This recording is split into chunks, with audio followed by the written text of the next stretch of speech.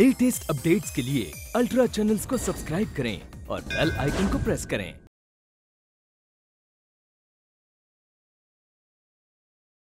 ईश्वर की मर्ज़ी से इंसान इस धरती पर जन्म लेता है।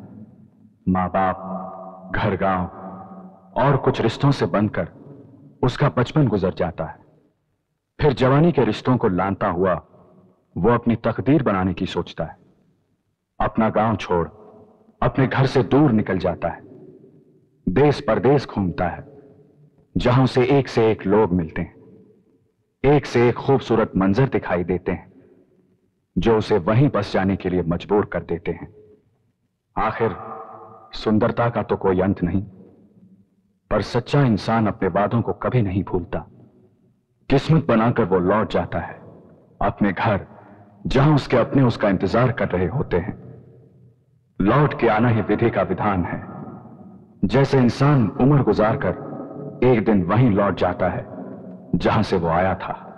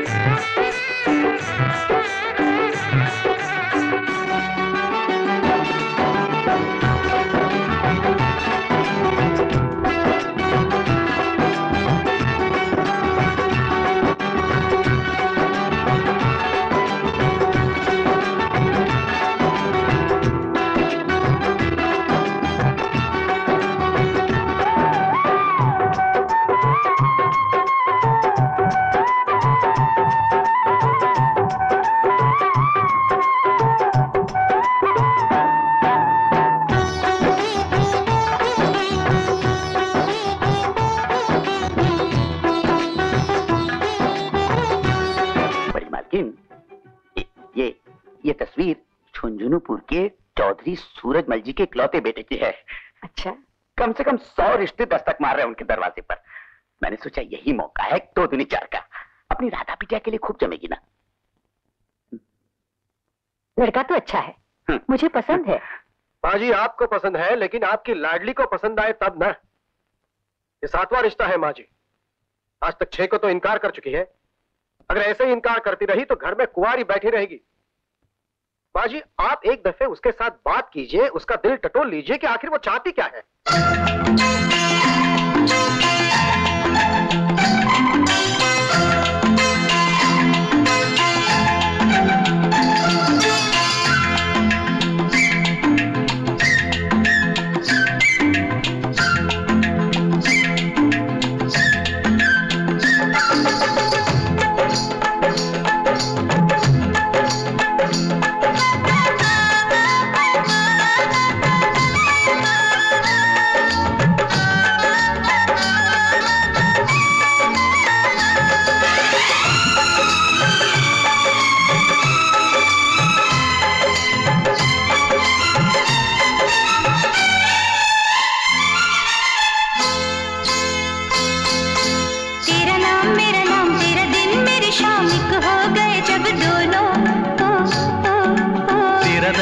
घर तेरा दिल मेरा दिल मिल गए जब ये दोनों।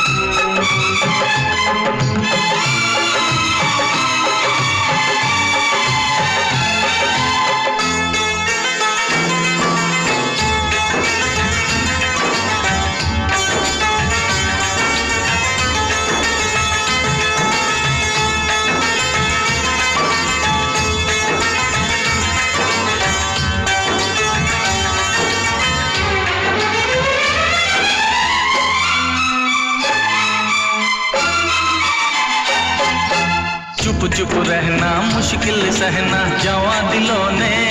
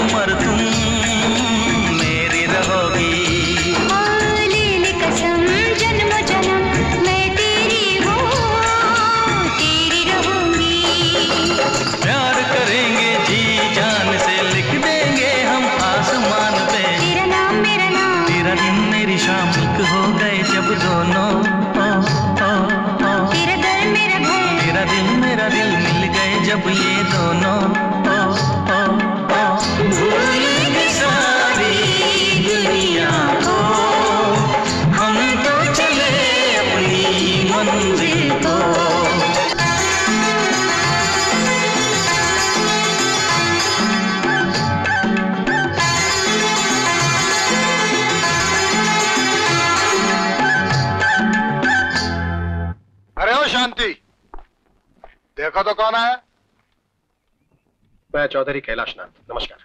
ओ भाई साहब आप कुछ बीस साल से आपके चर्चे सुनते आ रहे थे आज दर्शन हुए। वैसे आज अचानक आप दोनों की मुलाकात कैसे हुई? अभी जी यूँ गाँव के काम से कलेक्टर साहब से मिलने आए थे तो उस कलेक्टर साहब की कुर्सी पर ये बैठे मिले। अब ये पता नहीं था कि अपनी सरकार ऐसे लोगों को भी इतनी बड़ी पोस्ट पर रख लेती है। ऑफ़िस में ये हादसा हुआ गले मिले और फिर यहाँ तक चले आए। आइए बैठिए। ये तस्वीर? ये मेरा बेटा विक्रम है। तो फिर तुम्हारा बेटा है कहाँ? नज़र नहीं आया? वो अपने किसी दोस्त के घर गया है।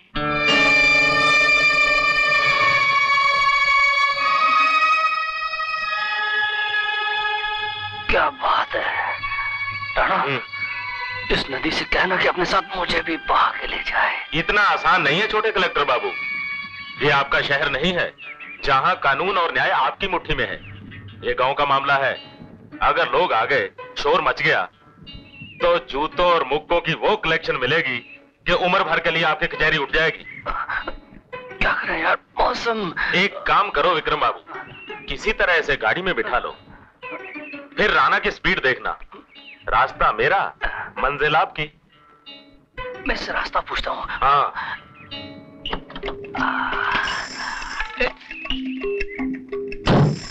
सुनो। अ, हम मुसाफिर हैं। रास्ता ही भूल गए। ये मेन रोड किधर है? क्या किधर है? पक्की सड़क। आ, हमें शहर जाना है। ओ शहर जाना है? हाँ। यहाँ से थोड़ी ही दूर है बाबूजी। अ, वो सामने कच्ची सड़क है ना? कौन सी कच्ची सड़क?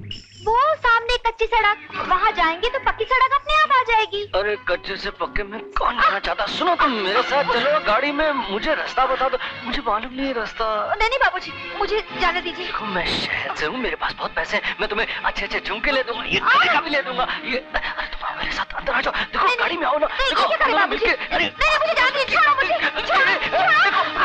अरे पकड़ो उसे कलेक्शन भाग रही है तेरी भाग पीछे अरे ओ मेरी कलेक्शन अरे देखो देखो ये तो मैं कलेक्ट करके रहूँगा लड़की तो मेरी जान है नागिन जैसी भाई बाकी लड़की की चीख अरे देख तो जरा जंगल में मंगल कौन मना रहा है चल भाग के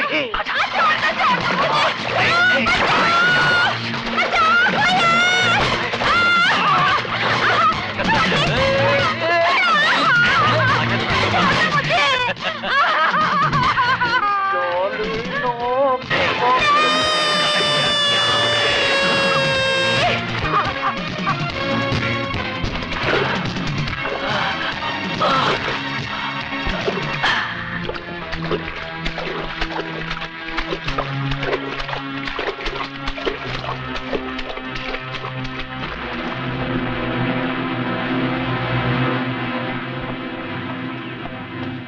ठहरो बाबू ठहरो जरा। देखो, जो कुछ तुमने किया, वो हमने देखा। राम कसम, बड़े जालिम हो। और गाँव की इज़्ज़त को लूट कर यूँ भागने नहीं दूँगा, समझे? मैं एक आवाज़ दूँगा ना, बाबू तो सौ आदमी आएँगे और दो सौ हाथ तुम्हारी गर्दन पकड़ेंगे समझे? चाहते क्या जितने पैसे हैं ना, तुम्हारे पास वो निकाल दो। और चलते ये- ये लौटे ईमानदारी का धंधा करता हूँ, बाबूजी। हैं? उचरा आदमी हूँ। मेरी जबान हमेशा बंद रहेगी। ऐसी दलील और घिनौनी हरकत हमारे गाँव का कोई आदमी नहीं कर सकता। इस बात का पूरा यकीन है मुझे। कोई बाहर से कमी ना आकर हमारे गाँव की इज़्ज़त को मट्टी में रौंद कर भाग गया है। कब तक भागेगा वो? कब तक बचेगा? जिस दिन हत्या चढ़ जाएगा कमीने को फांसी लगवा दूँगा। राम कसम पत्थर मार मार कर उस कमीने का सर तोड़ देगी। बस एक बार पता तो चले कि ये काम किया किस कमीने ने। है विक्रम हमें चार पाँच रोज के लिए सरकारी काम से यहाँ रुकना पड़ेगा। तुम बसंतपुर चले जाओ। राधा से मिलो चौधरी साहब से मिलो। आखिर रिश्ता तय करना है भाई। हम भी चार पाँच रोज के बाद आ जाएँगे। डैड आप चाहते हैं कि मैं बगैर चॉइस के ही कलेक्शन कर लूँ? Once going I don't mind लेकिन रिश्ते विश्ते की बात को पक्का मत समझिएगा। अब तुझे क्या देखना है? मैं तो चौधरी साहब को देखते ही समझ गई थी कि वो लड़की कैसी होगी। लाखों में एक। अब तो ये देखना है कि हमारे घर की कलेक्शन उसे पसंद आती है या नहीं।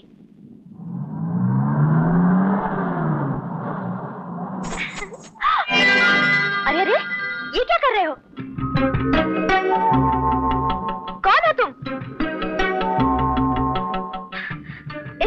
देख रहे हो?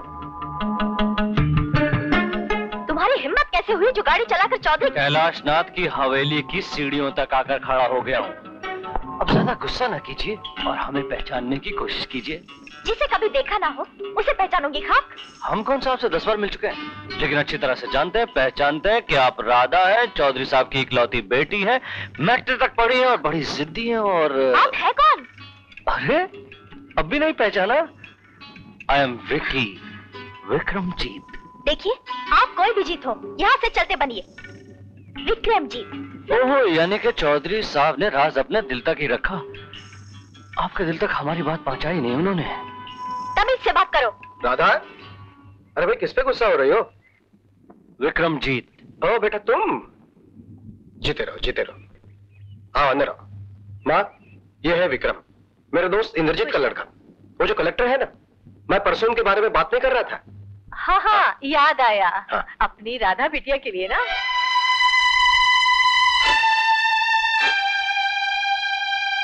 लो शर्मा गई।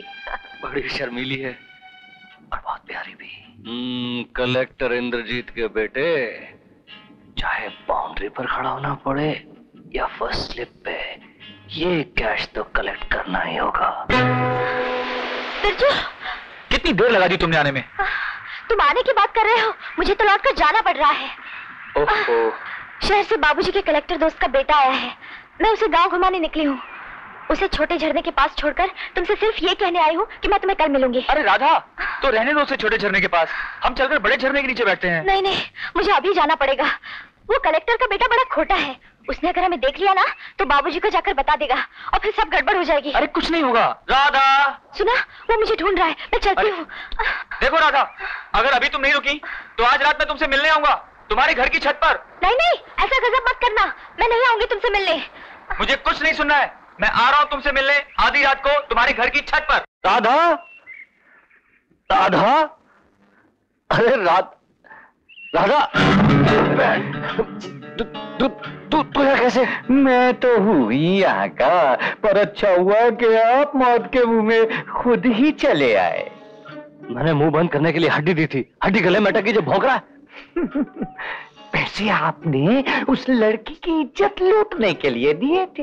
बात यहीं तक रहती तो मैं भौंकता भी नहीं पर उस लड़की ने अपनी जान दे दी बाबू। धीरे धीरे। धीरे सारे गाँव ने चौपाल में उसकी लाश के सामने बैठकर ये कसम खाई कि जिस दिन वो लफंगा उन्हें मिल गया वो उसकी जान ले लेंगे। अबे मैं राधा से शादी करने मन थोड़ी आया एक बात बता ये बात तेरे सिवा किसी को मालूम है? अरे नहीं नहीं हुजूर मैं आज तक उस लड़की के गम में मातम मना रहा हूँ काला पड़ गया हूँ। किसी को कानो कान भी खबर नहीं होगी। सुन कुत्ते मैं तुझे इतनी हड्डियाँ दूँगा लेकिन ये बात किसी के कानों तक नहीं पहुंचनी चाहिए। समझ गया? हाँ हुजूर। हाँ हुजूर किसी को खबर नहीं होगी। क्यों बेटा? घुमाए? जी अंकल। कैसा लगा हमारा गाँव? बहुत अच्छा uncle. It was a wonderful experience आपका गाँव तो खूबसूरती का कलेक्शन है। मुझे तो यहाँ की हर चीज़ बहुत खूबसूरत लगी। आई मीन यहाँ का माहौल अंकल? आपकी ये हवेली ये आपकी छत अंकल? ये छत तो कितनी खूबसूरत है। मालिक सरपंच जी आपसे मिलने आए हैं। आ रहा हूँ। जी। मैडम मैं एक दो मिनट में आता हूँ। जी अंकल। दादा मुझे तुमसे कुछ बात करनी थी। कहा? नहीं यहाँ नहीं। छत पे सबके सो जाने के बाद। सबके जागते हुए क्यों नहीं? सबके जागते हुए जो नहीं कह सकता यही तो समझाना चाहता हूँ तुम्हें। छत पे चांदनी रात में दादी माँ आ गई। दादी माँ यहाँ आइए ना। हमारे साथ बैठिए। अच्छा अच्छा। तो फिर छत पे मिलते हैं रात को? नहीं नहीं अब मैं रात को जल्दी सो जाती हूँ। मैं जगा दूँगा तुम्हें। अरे घर पे किसी ने देख लिया तो? कोई नहीं चुपचाप आ जाऊँगा। तो फिर तेरा रात को मिलते हैं। हेलो दादी। कैसे हो बेटा? लीजिए अब ये भी मिलना चाहते हैं चांदनी रात में छत पे। हाँ, चौधरी कैलाशनाथ के घर की छत ना हुई आगरे का ताजमहल हो गया।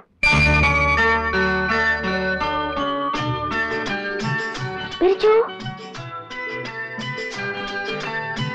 बिरजू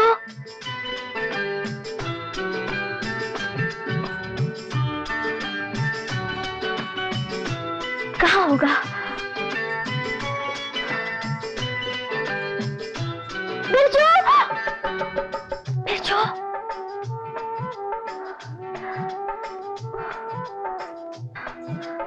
पता नहीं आया भी है कि नहीं?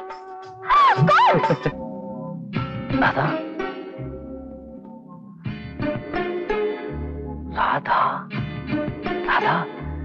अरे भाई छत में चांदनी रात में दिल की बात करनी है।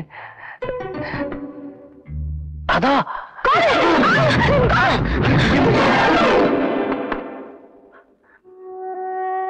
तुम मेरी सांसों में बसे हो बिरजू। तुम्हें देखते ही मैं अपनी सुध बुद्ध खो बैठती हूँ। मुझसे कभी अलग मत होना। मैं तुम्हारे बिना जी नहीं सकूँगी। जानती हो राधा? तुम्हारी इस छत के ऊपर एक और छत है। ये आसमान। जिस पे हम सब की किस्मत लिखने वाला बैठा है। उसने ऊपर से ही हम दोनों के मिलन का संजोग लिख कर भेजा है। इस धरती की कोई भी ताकत हम एक दूसरे से जुदा नहीं कर सकती।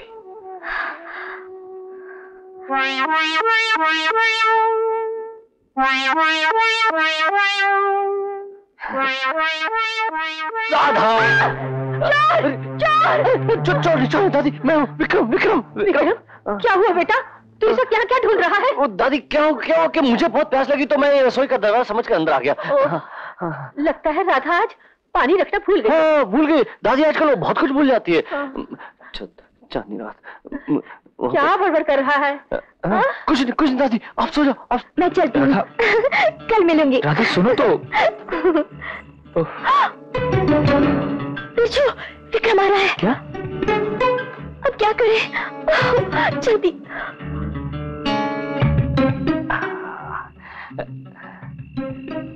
ऊपर।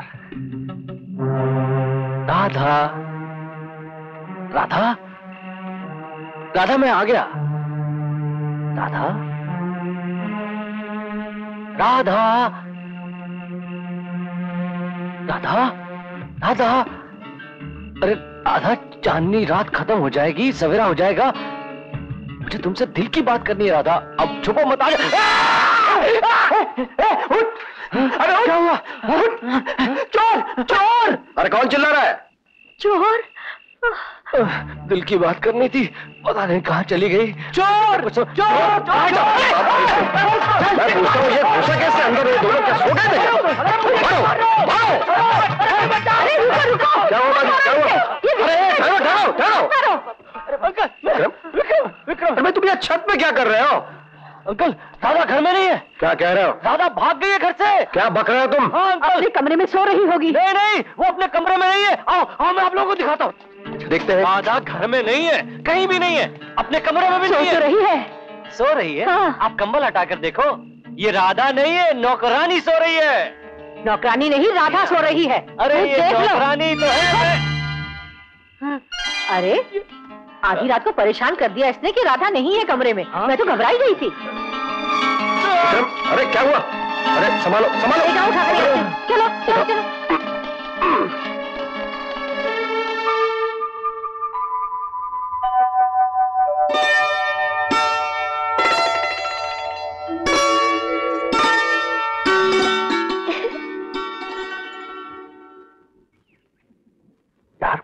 कल जो वो मेरे साथ घूमने गई थी तो अचानक मुझे छोड़कर कहीं गायब हो गई। कल रात वो अपने कमरे में भी नहीं थी। मैंने उसके कमरे में दूसरे सबके कमरों में छत पे सब जगह देखा। और वापस देखा तो अपने कमरे में थी। हुजूर इस बीच वो कहाँ थी? यही तो राज। मैं जानता हूँ राम कसम। कहाँ थी? किसी के साथ किसी की आँखों में किसी के दिल में। किसके साथ? किसकी आँखों में? किसके दिल में? वो है क्या हुजूर? सुबह से हरे हरे नोटों के दर्शन ही नहीं हुए। ऐसा लगता है जैसे सब जगह पीलिया हो गया है। देखिए ना पीलापन हुजूर।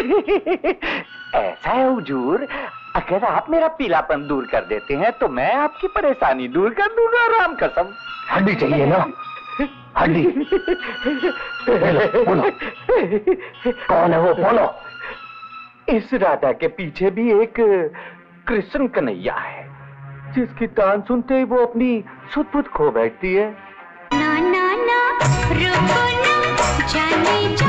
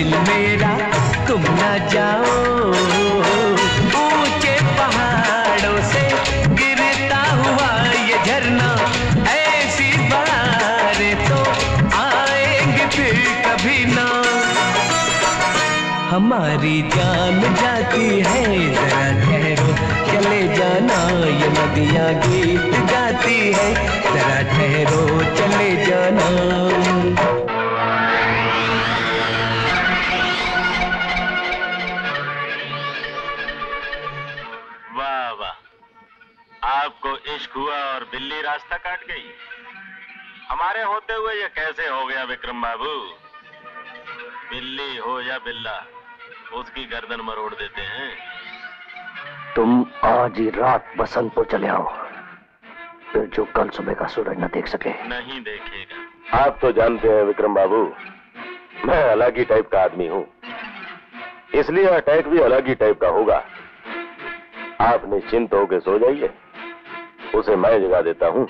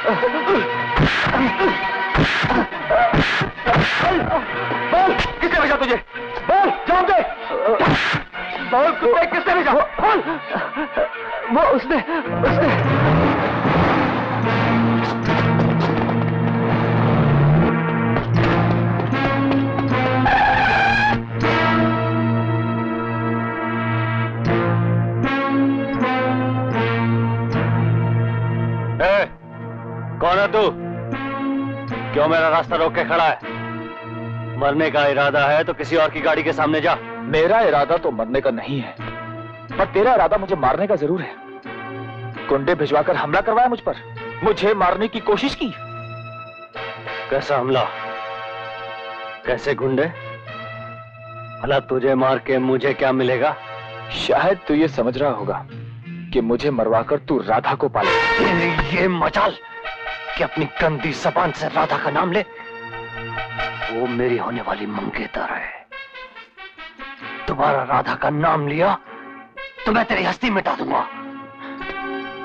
मेरी हस्ती मिटाने के लिए तुझे दूसरा जन्म लेना पड़ेगा कमीने।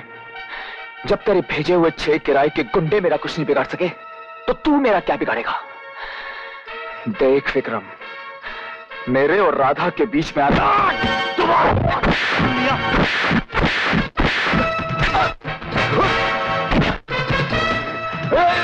राधा की बात करता है राधा से प्यार की बात करता है मैं तुझे ज़िंदा नहीं छोड़ूँगा। तू अपनी फ़िक्र कर हराम है दोबारा अगर राधा का नाम अपनी ज़ुबान पर लिया तो मैं तुझे ज़िंदा नहीं छोड़ूँगा मेरी ज़िंदगी है मेरा प्यार है तो के अंदर अंदर राधा से सगाई न की तुमने राधा मेरी वो मेरी है, वो मेरा और हम तू दो दिन तो जन्म भी लगा लेगा ना।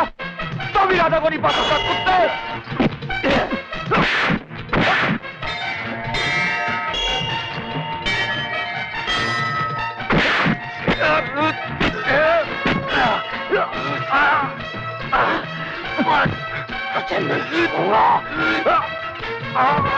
साले क्या कर रहा है तू? अरे छोड़ते हैं अरे सुनता क्यों नहीं? ये अतिथि है हमारे। हमारे मेहमान है ये। अरे काहे का मेहमान है ये? मेहमान नहीं जहरीला नाग है इसने मुझ पे हमला करवाया। जान से मारने की कोशिश रुक तो सही तू। विक्रम बाबू। क्या कह रहा है झूठ बोल रहा है। सरपंच जी कम खा गले पड़ रहा है मेरे? तो पूछिए इसको। क्या कर रहा था आधी को मेरे घर के बाहर? स्टेशन जा रहा था।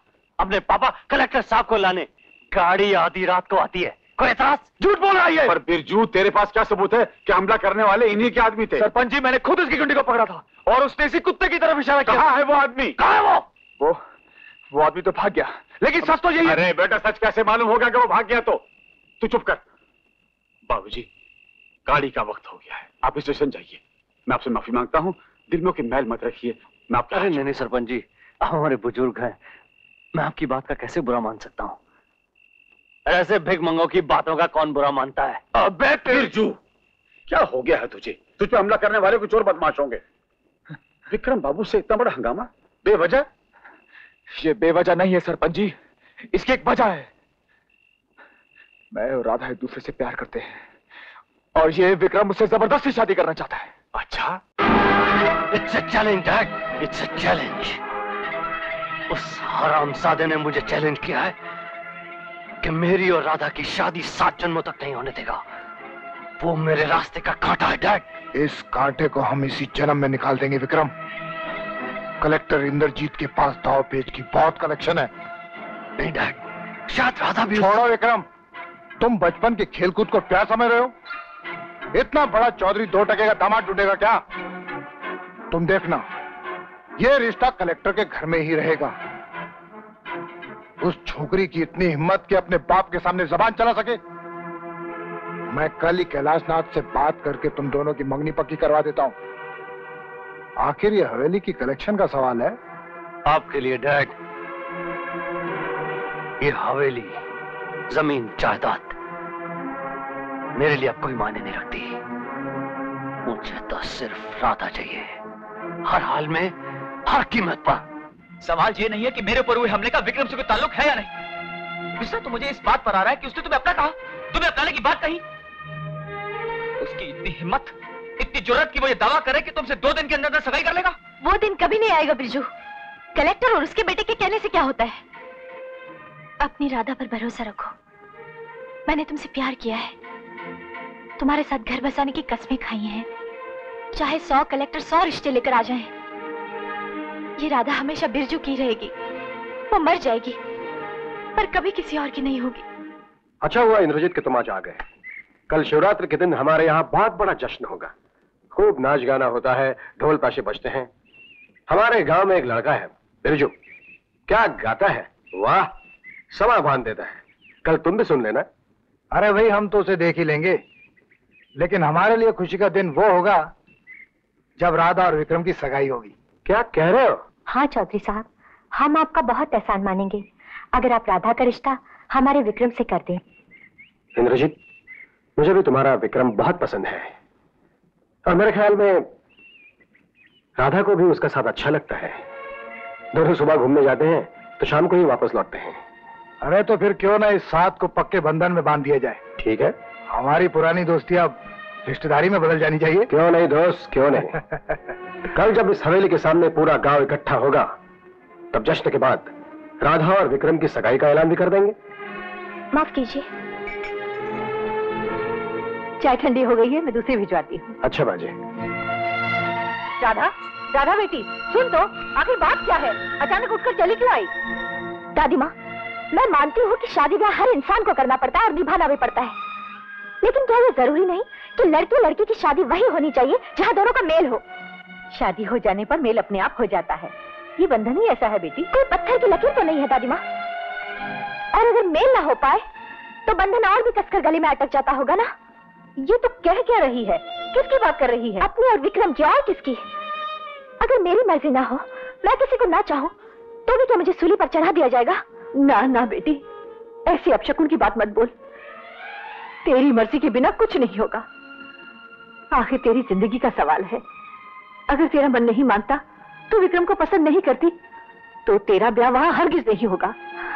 सच दादी माँ? हाँ बेटी। देखा? कर देना कलेक्शन कल चौधरी साहब की बुलंद आवाज़ सारे गाँव के सामने तुम्हारी और राधा की सगाई का ऐलान करेगी। वो साला डफली वाला डफली बजाता रह जाएगा और राधा डंके की चोट पे हमेशा के लिए तुम्हारी हो जाएगी।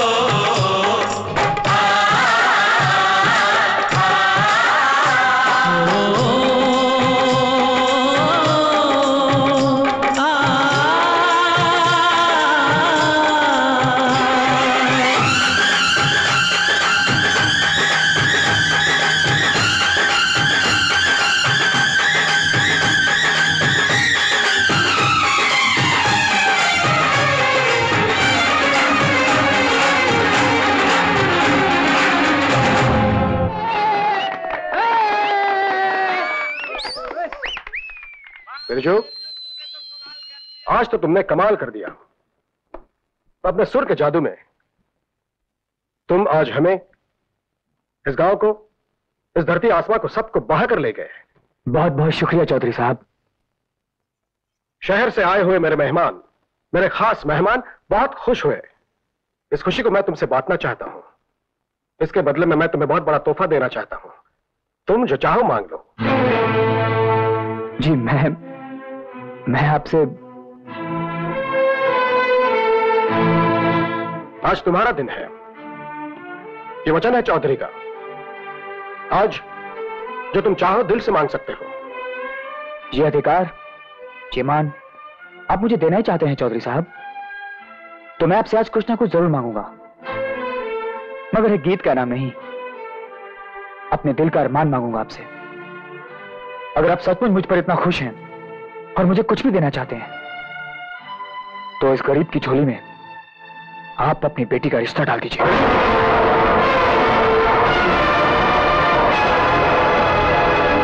तो कौड़ी के टॉये तेरी ये मजाल कि मेरी होने वाली मंगेतर का हाथ मांगे चौधरी साहब के दिए हुए वचन को, अपनी गंदी मांग के कीचड़ में घोले, मैं तेरी खाल उतार दूँगा, मैं तुझे चाँद से मार दूँगा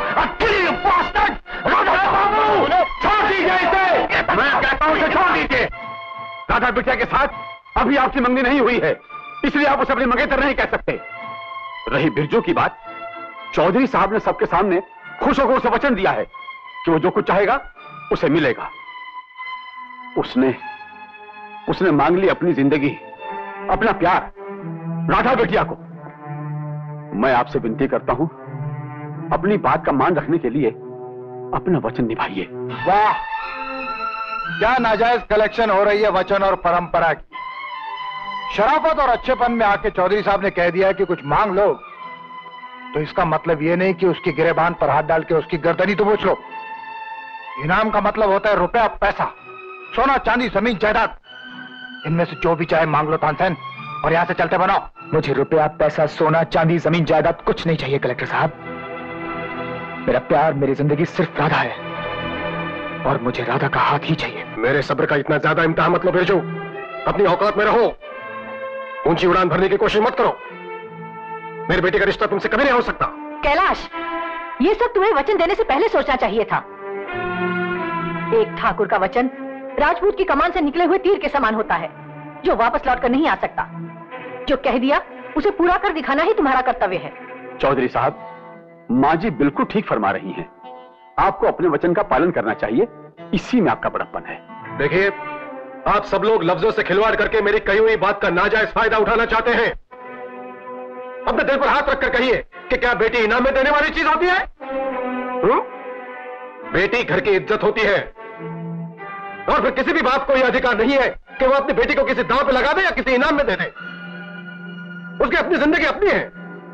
उसका फैसला करना मेरे अकेले के हाथ में नहीं है। बिल्कुल ठीक कहा आपने चौधरी साहब। बिल्कुल ठीक।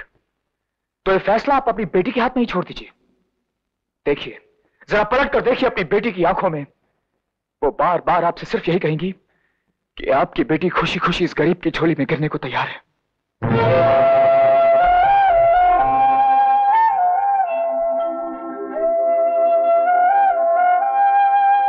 वाह, राधा, वाह।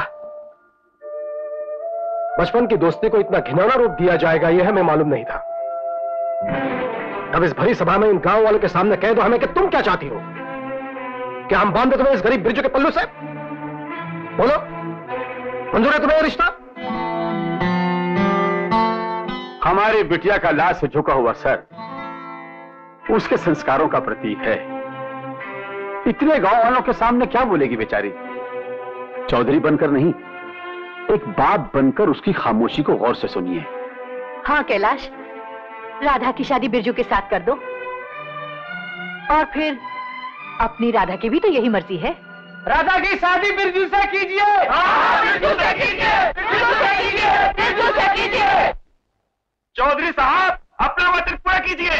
अपना वचन पूरा कीजिए। मान जाइए ना चौधरी चाचा राधा की शादी बिरजू से कर दीजिए। ठीक है। अगर आप लोग मुझे मजबूर करते हैं तो मैं हाँ कह देता हूँ। पर मेरी भी एक शर्त है। कहिए चौधरी साहब, राधा को पाने के लिए मैं शर्त का बड़े से बड़ा समुद्र भी पार कर सकता हूँ। तो सुनो बिरजू, राधा मेरी इकलौती बेटी है। इसकी माँ की मौत के बाद मैंने इसे बहुत प्यार से पाला है। चंदन के पालने में इसे लोरियाँ दे देकर मैंने इसे बड़ा किया है। जिस दिन इस घर की चौकट छोड़कर वो विदा लेगी, क्या मैं इस लाडली का बाप अपने होने वाले दामाद से ये पूछ सकता हूँ कि मेरी लाडली बेटी को इस हवेली से ले जाकर वो कौन से महल में रखेगा? दो प्यार करने वालों के बीच आप दौलत की दीवार खड़ी कर रहे हैं। आप बखूबी जानते हैं कि ये बेचारा रुपए पैसे के मामले में ता ज़िंदगी आपकी बराबरी नहीं कर सकता। बिल्कुल ठीक कह रहे हो तुम सरपंच। मैं इसे अपना मुकाबला करने के लिए नहीं कह रहा हूँ। मैं जानता हूँ कि वो तो ज़्यादा होगी। लेकिन मेरी एक छोटी सी शर्त है। बिरजू मैं तुम्हें एक साल का वक्त देता हूँ। मेरे पास हज़ार एकड़ ज़मीन है। साल भर के अंदर तुम पाँच एकड़ तो हासिल कर सकते हो। लाखों रुपया है मेरे पास। तुम एक साल के अंदर पच्चीस हज़ार तो कमा सकते हो।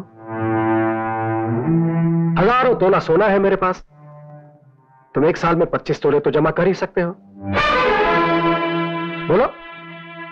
शर्त की ये छोटी सी नदी पार कर सकते हो। आपकी रखी हुई ये शर्त मुझे मंजूर है, चौधरी साहब। सुनो, गाँव वालों। अच्छी तरह से सुन लो।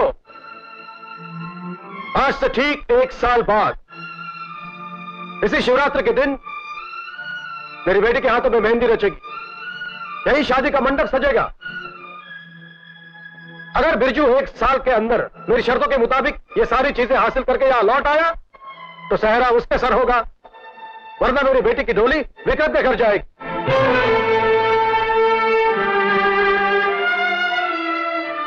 बोलो, है मंजूर? हाँ हाँ मंजूर है।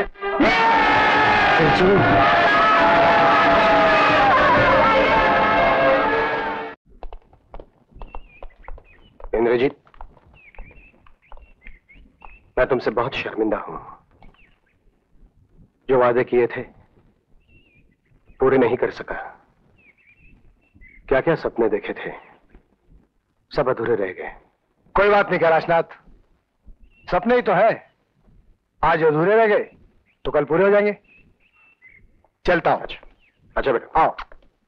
अच्छा माँ जी। अच्छा। नमस्ते भाई साहब। नमस्ते भाभी जी।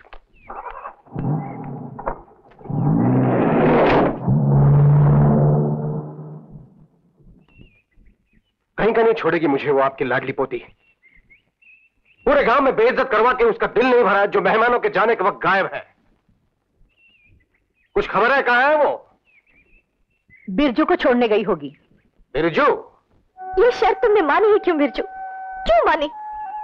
ये सब उन लोगों की चाल है जानते हो तुम? एक साल में तुम इतना पैसा इतना सोना चांदी कहाँ से लाओगे? तुम ये सब नहीं कमा पाओगे। एक साल में तो मेरे प्यार की उम्र बीत जाएगी। नहीं राधा ऐसा मत कहो। हमारा प्यार सच्चा है और सच्चे प्यार की हमेशा जीत होती है। लेकिन मैं तुम्हारे बिना नहीं जी पाऊँगी। मुझे पैसे ज़मीन जेवरात कुछ नहीं चाहिए। सिर्फ़ तुम्हारा साथ चाहिए। मुझे भी साथ ले चलो। हम दोनों कहीं दूर चलते हैं। नहीं राधा मैं तुम्हें एक चोर की तरह भगा कर नहीं ले जाऊँगा। पंचायत के सामने जो कसम खाई है शर्त पूरी करने का जो पीड़ा उठाया है उसे पूरा करके ही लौटूँगा। रो मत राधा। अपने प्यार पे भरोसा रख। मैं शर्त पूरी करके लौटूँगा। मेरा इंतज़ार करना राधा। मेरी राह देखना। राह देखूँगी। पर तुम मेरे साथ की कसम खाओ। तुम लौटोगे ज़रूर। चाहे शर्त पूरी हो या ना हो। हाँ राधा मैं लौटूँगा। वक्त से पहले और शर्त पूरी करके। बिरजू मैं तुम्हें जाते हुए नहीं देख सकती। पहले मैं आँखें बंद कर लू तुम चले जाना।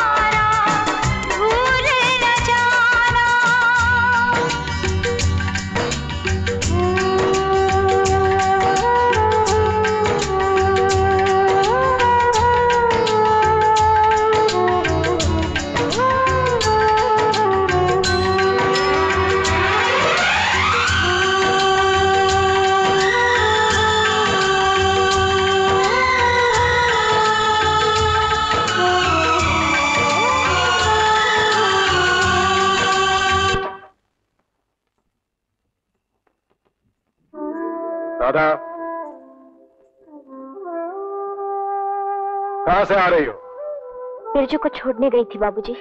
बिरजू को छोड़ने गई थी या अपनी लाज अपनी शर्मोहया छोड़ने गई थी। हुँ?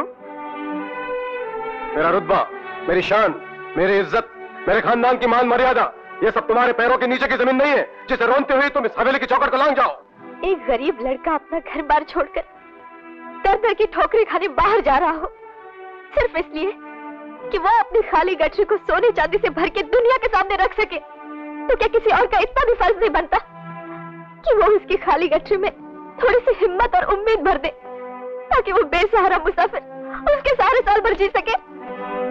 बहुत लंबी चल रही है तुम्हारी जबान आजकल। ये मुझे बिल्कुल मंजूर नहीं है कि मेरा अपना ही खून मुझसे बगावत करे। और आखिर उस भिखारी में है ही क्या? कुछ ही दिनों में सब रास्ते बंद हो जाएँगे, तब अकल ठिकाने आ जाएगी। उसका बाप भी शहर गया था। दो वक्त की रोटी कमाने। क्या बोला उसे? भूख की मौत। यह भी उसी की तरह भूखा मरेगा। उस दो टके के छोकरे की क्या हैसियत के इस शर्त का हिमालय पार कर सके? उसकी उम्र बीत जाएगी लेकिन शर्त का एक साल नहीं बीतेगा।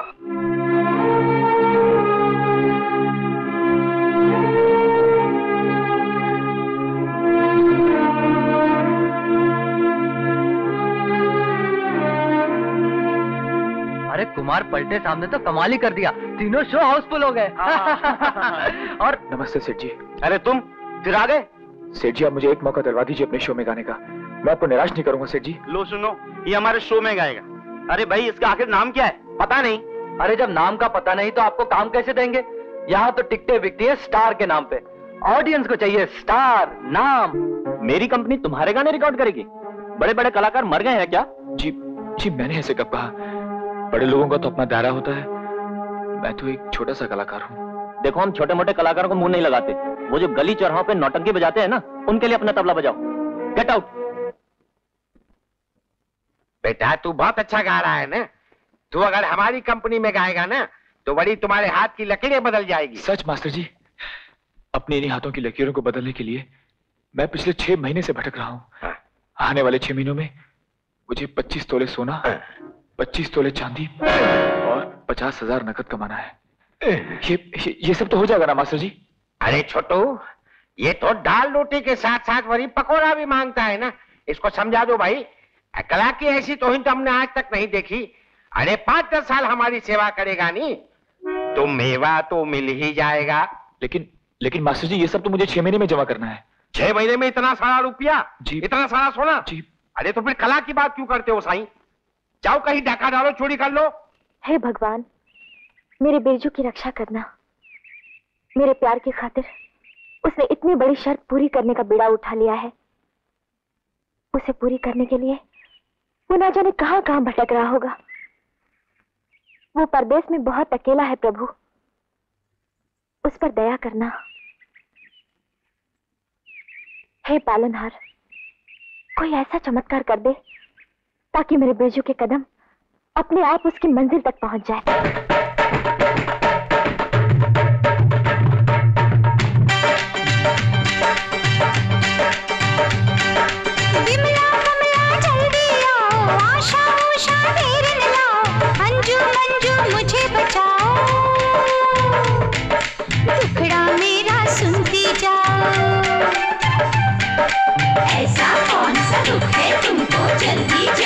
पहले पहल फिर मैं हो गई जब मैं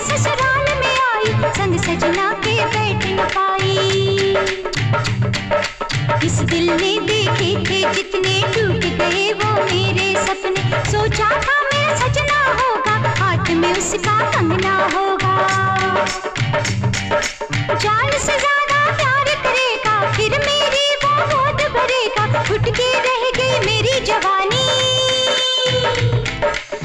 सास ने फेर दिया है पानी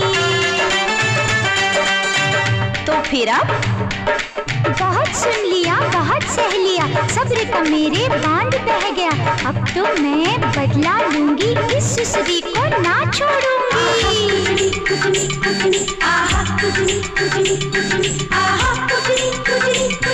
आहा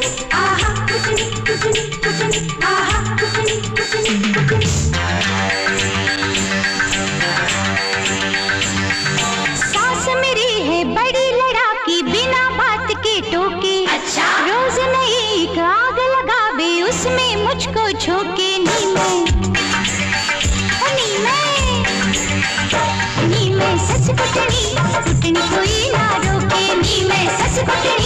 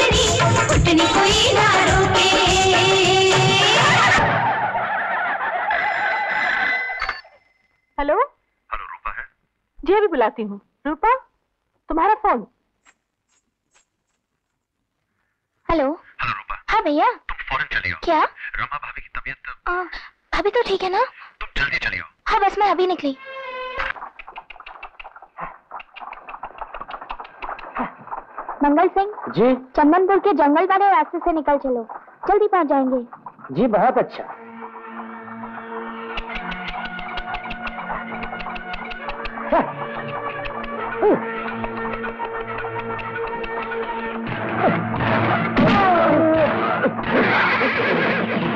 क्या हुआ? किसने रोका बगी को? हम हैं। कौन है तुम? हाँ, हम है इस इलाके के मशहूर ठग। मैं कहती हूँ हट जाओ सामने से। तुम जानते नहीं हो कि मैं कौन हूँ। ठाकुर रणधीर सिंह की छोटी बहन। हाथ भी लगाया तो तुम्हारे साथ पुश्तों के हाथ पाव काट दिए जाएँगे। हम हाथ आएँगे तब ना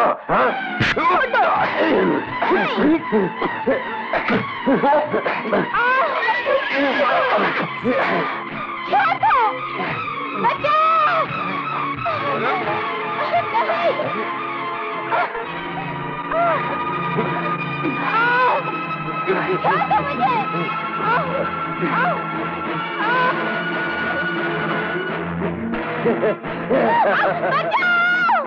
ले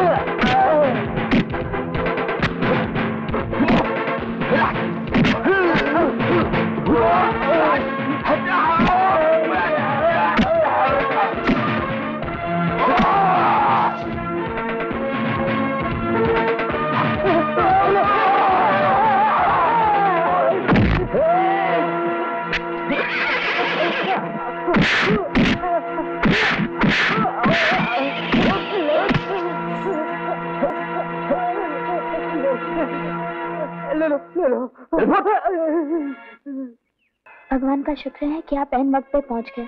वरना आज पता नहीं क्या हो जाता। आपको ऐसे खतरनाक जंगल के रास्ते से नहीं गुजरना चाहिए था। जल्दी पहुँचने के चक्कर में खैर आपके दोनों आदमी भी काफ़ी जख्मी हो गए हैं। मैं आपको आपके घर तक पहुंचाता हूँ। जी बहुत मेहरबानी होगी।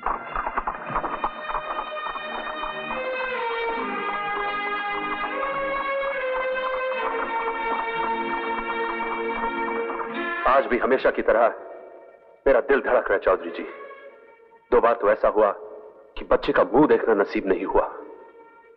एक बार तो बच्चा गिर गया और दूसरी बार अगर आज भी ऐसा हुआ तो तो मैं समझूँगा मेरा वंश आगे चलने वाला नहीं है। इसमें निराश होने की कोई ज़रूरत नहीं है ठाकुर साहब। ईश्वर ने चाहा तो इस बार लड़का होगा आपको। भैया अरे भाभी भाभी ठीक है ना? हाँ लेकिन लेकिन तुम्हें क्या हुआ रूपा? नहीं कुछ नहीं भैया। हम चंदनपुर के जंगल वाले रास्ते से आ रहे थे कि कुछ लोगों ने हम पर हमला कर दिया। क्या? तुम पर कुछ लोगों ने हमला किया? इसमें घबराने की कोई बात नहीं भैया। तुझ पे कोई हमला करे और तू कहे कि घबराने वाली बात नहीं है? अरे चंदनपुर के जंगलों को आग लगा दूँगा जला कर राख कर दूँगा उन्हें। जाने भी दो भैया। इसके पहले कि कोई अनहोनी हो जाती किसी ने एन वक्त पे आके हमें बचा लिया और घर तक भी छोड़ने आ गया। कहाँ है वो? यही पे तो था मैं देख के आती हूँ। सुनिए आप कहाँ रह गए? जी मैं वो जरा कोचवान की मरम पट्टी करवा रहा था। मुझे आगे दीजिए मुझे वापस जाना है। अरे अरे ऐसे कैसे जा सकते आप? भैया अंदर बुला रहे हैं। चलिए। भैया आइए ना। भैया ये आओ अंदर आओ।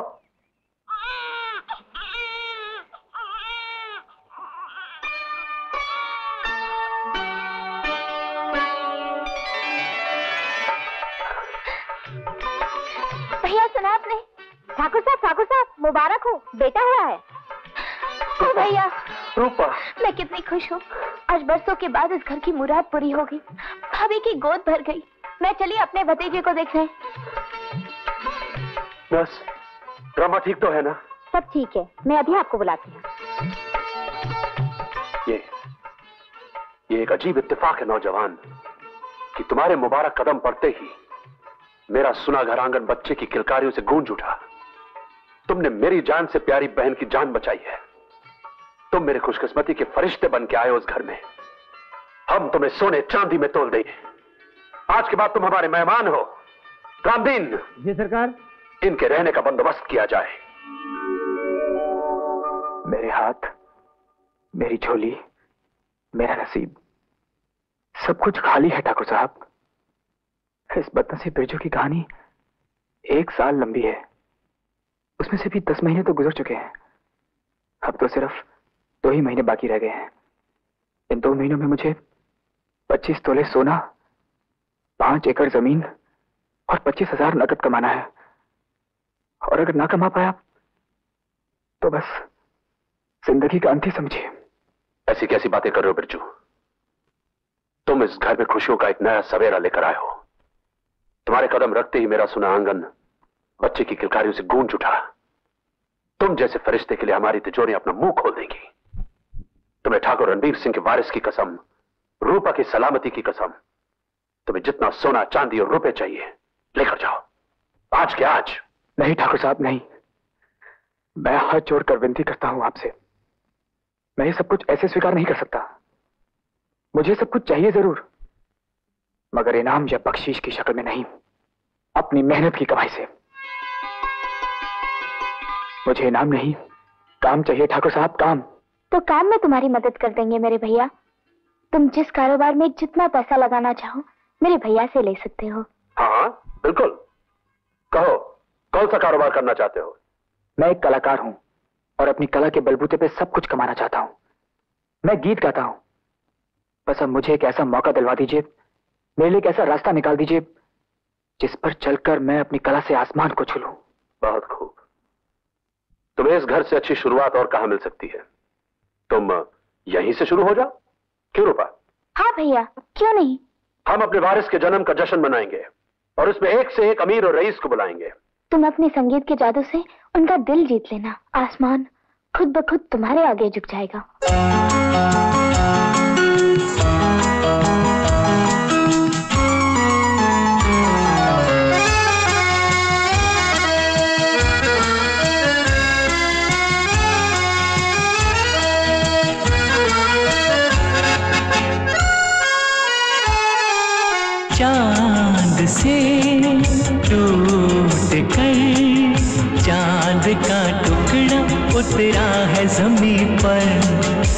रोशन हुए लाखों दिए।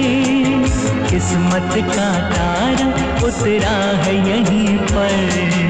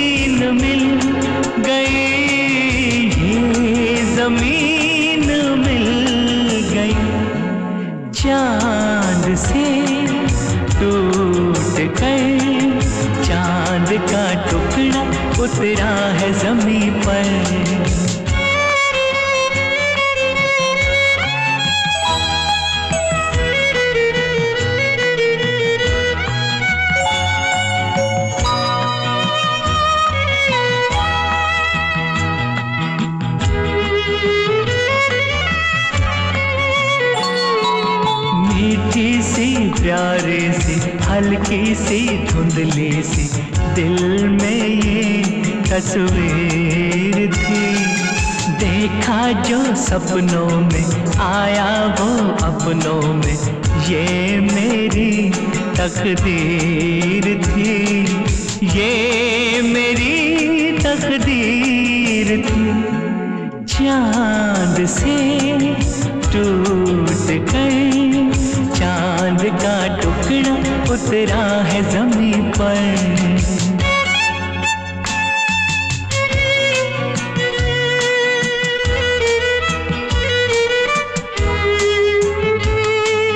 चंदन का छोटा सा पलना तेरा, हंसना, गिरना, संभलना तेरा। चंदन का छोटा सा पलना तेरा हंसना गिरना, संभलना तेरा। बचपन तेरा हो खुशियों भरा। चाँद से टूट कर, चाँद का टुकड़ा उतरा है ज़मीन पर। रोशन हुए लाखों दिए किस्मत का तारा उतरा है यहीं पर। शुक्रिया। धन्यवाद। वाह बिरजू बहुत खूब। तुम्हारी तुम्हारी आवाज़ में सचमुच जादू है। मेरे बेटे की शादी का मुहूर्त निकल चुका है बिरजू। उस दिन के लिए तुम आज ही से बुक हो। लो शुरुआत हो गई। बहुत बहुत शुक्रिया ठाकुर साहब।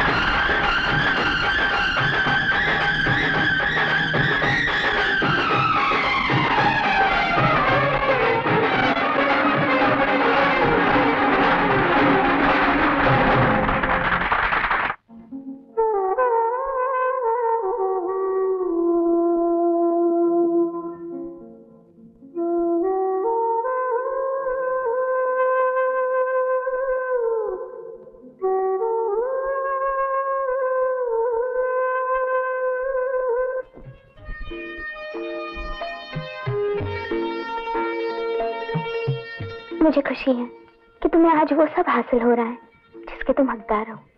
तुम सचमुच एक बड़े कलाकार हो। इसीलिए तो तुम्हारी शौहरत ये सब आपकी मेहरबानियों का नतीजा है रूपा जी। मैं तो कल तक दर दर मारा मारा फिर रहा था। आप नहीं मिलती? तो क्या ये सब मिल सकता था मुझे? आप सचमुच मेरी ज़िंदगी में मेरी किस्मत बनकर आई हैं। तुम क्या कम किस्मत लेके आए हो हमारे घर? तुम्हारे कदम बढ़ते ही भैया भाभी का सुना आँगन बच्चे की खिलखिलाहट से गूंज उठा। ज़िंदगी में ऐसी हरियाली पाने के बदले भैया से जो भी मेहरबानी की गई, वो कम है। तुम्हें तो इतना मिलना चाहिए, इतना मिलना चाहिए कि तुम्हारे दामन में भी समा ना सके। नहीं रूपा जी, नहीं। मुझे तो सिर्फ़ उतना ही चाहिए, जितने की तलाश है मुझे। उससे ज़्यादा की मुझे कोई चाहत नहीं दौलत और ज़मीन तो एक लालच है, जिसे पाने की होड़ में लगा इंसान अपना सुख, चैन और ईमान तक खो देता है। इन सबको खोकर पाई गई अमीरी आदमी को भीतर से खोखला कर देती है। रूपा जी मेरे हिसाब से दो वक्त की रोटी और रात की गहरी नींद से बड़ी कोई अमीरी नहीं। कई दिनों से देख रही हूँ राधा। तू ठीक से खाना नहीं खाती। खाएगी नहीं तो जिएगी कैसे? भूख से मरना चाहती है। अपने आंसुओं से मुझे हिलाना चाहती है। ताकि मैं तरस खाकर अपनी शर्त बदल दूँ। लेकिन ये नहीं होगा। कभी नहीं होगा। अगर ये जिद्दी है तो मैं भी इसका बाप हूँ। मैं भी नहीं बदलूँगा। रूपा जी रूपा जी अरे बिरजू तुम? कब लौटे आज का जलसा कैसे रहा? अरे रूपा जी बस पूछिए मत। आज तो कमाल ही हो गया। इतनी तालियाँ इतनी तारीफ़ मिली कि दिल खुश हो गया। वो तो होना ही था। तुम दिल से गाते हो। इसलिए तो दिल को छू लेते हैं। छोड़िए रूपा जी खैर ये लीजिए मेरी आज की कमाई। रख लीजिए। ये हर बार तुम अपनी कमाई मुझे दे जाते हो। अच्छा खासा खजांची बना के रखा है मुझे। अगर हिसाब किताब में सौ पाँच सौ का फ़र्क पड़ गया तो। अरे रूपा जी कैसी बातें कर रही हैं आप? आप पर तो पूरा विश्वास है मुझे। आपकी और ठाकुर साहब की मेहरबानियाँ। क्या कभी भुला सकता हूँ मैं? अरे हाँ इसी बात पर याद आया। दौलत राम जी शिकायत कर रहे थे कि ठाकुर साहब जलसे में पहुँचे नहीं। आखिर है कहाँ वो? स्वागत सत्कार की तैयारी में लगे हैं। कोई आ रहा है? हम्म फिर तो कोई खास ही मेहमान होंगे जो ठाकुर साहब खुद तैयारी में लगे हुए हैं। जी हाँ खास मेहमान आने वाले हैं। वो शेरगढ़ के ठाकुर है ना? उनके लड़के दीवान सिंह नीली नीली आँखों वाले। उनके साथ भैया भाभी मेरा रिश्ता जोड़ना चाहते हैं। अरे ये तो बड़ी खुशी की बात है। खास खुशी की बात है ये ठाकुरों के भी सौ नखरे होते हैं। क्या पता हमको पसंद भी करें या नहीं? अरे अरे क्या कह रही हैं आप? आपको और नापसंद? सवाल ही पैदा नहीं होता। अरे वो आपको देखेगा ना तो बस देखता ही रह जाएगा। क्या कमी है आप में?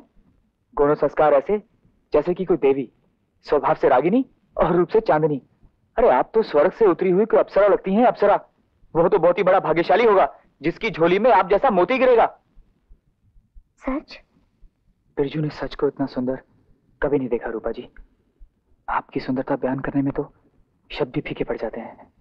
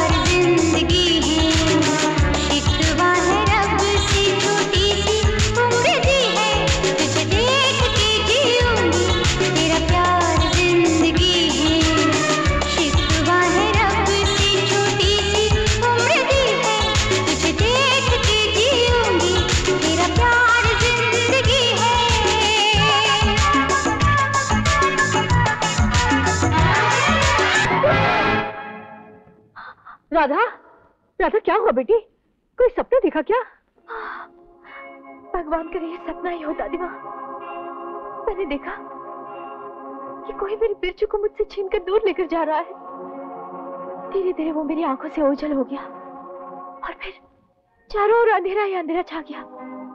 फ़िक्र मत कर बेटी तेरे प्यार की रोशनी से अंधेरा दूर हो जाएगा। बिरजू को तुझसे कोई नहीं छीन सकता।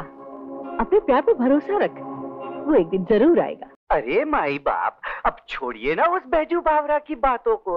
अब तो शादी वादी की तैयारियाँ शुरू कीजिए। अरे हाँ अब तो सिर्फ़ दो महीने रह गए हैं। और फिर इस बार मैंने गाँव में राधा रानी को देखा है। उसकी आँखों के सूखे हुए आँसू, अरे हुजूर, उस बिरजू की नाकामी की कहानी साफ़ साफ़ कह रहे हैं। मैं तो ये कहता हूँ कि आप शादी का माहौल पैदा कीजिए और निकालिए शगुन मगुन निकालिए। टैंकू कैलाशनाथ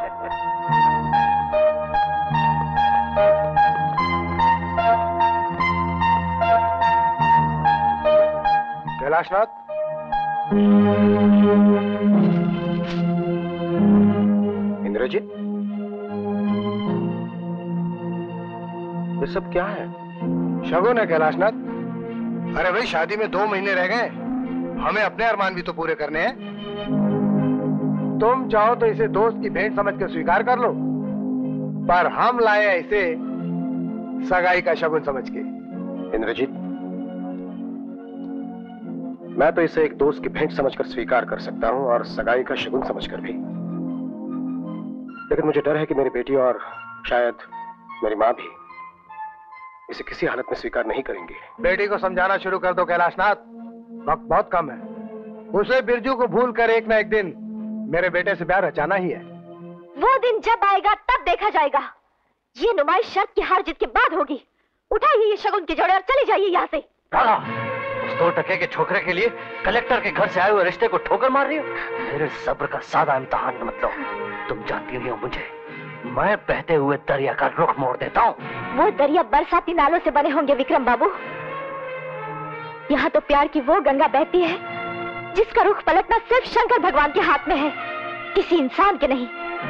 ये नदी जाकर अपने सागर से ही मिलेगी। बंद करो ये बकवास। जिसके साथ घर बसाना है जिसका सिंदूर अपनी मांग में रचाना है उसके साथ ये शब्द कहते हुए तुम्हें शर्म आनी चाहिए। शर्म तो इन्हें आनी चाहिए शगुन लाते हुए।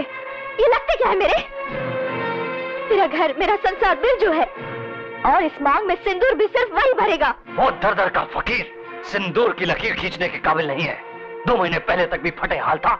दो महीने के बाद भी भिखारी बन के इस हवेली के सामने खड़ा होगा। देखो राधा, बात को ज़्यादा बढ़ाओ मत। हम सबकी भलाई इसी में है कि तुम इस शगुन को स्वीकार कर लो। स्वीकार कर लो। इसमें मेरे प्यार का तार तार सजा हुआ है। मैं इस शगुन का तार तार दोष डालूँगी। क्या समझ रखा है आप लोगों ने मुझे? आग लगा दो। शगुन नहीं मैं शगुन से। क्या हो रहा है मुझे? अरे मैं तो नानी बाप अभी तक बात पूरी नहीं हुई है। क्या कह रही है? मैं ये ज़बरदस्ती नहीं होने दूँगी। दूर हो जाओ यहाँ से। निकल जाओ यहाँ से। कैलाश नाथ बहुत हो चुका। और विक्रम इंद्रजीत इंद्रजीत। निकल जाओ। मेरी बात तो सुनो दोस्त। बहुत हो गया कैलाश नाथ बहुत हो गया। मैं मानता हूँ कि हम लोग वक्त से पहले शगुन लेकर आए। इसका मतलब ये नहीं कि तुम्हारी बेटी इस तरह से हमारी बेइज्जती करे। अरे तुम कम से कम दोस्त होने के नाते तो ये शगुन रख ही सकते थे। देखो मैं बहुत शर्मिंदा हूँ। मुझे माफ़ कर दो। वक्त आने पर सब कुछ ठीक हो जाएगा। मैं तुम्हें घर पर आकर मिलता हूँ इंद्रजीत। तब हम दोनों बात करेंगे। बेटे तुम भी मुझे जरा सोचना। नहीं अंकल चिंता ना कीजिए। आप राधा को संभालिए वक्त आने पर सब ठीक हो जाएगा। डैडी डोंट गेट एक्साइटेड चलो विक्रम कलेक्टर हूँ मैं। ओके अंकल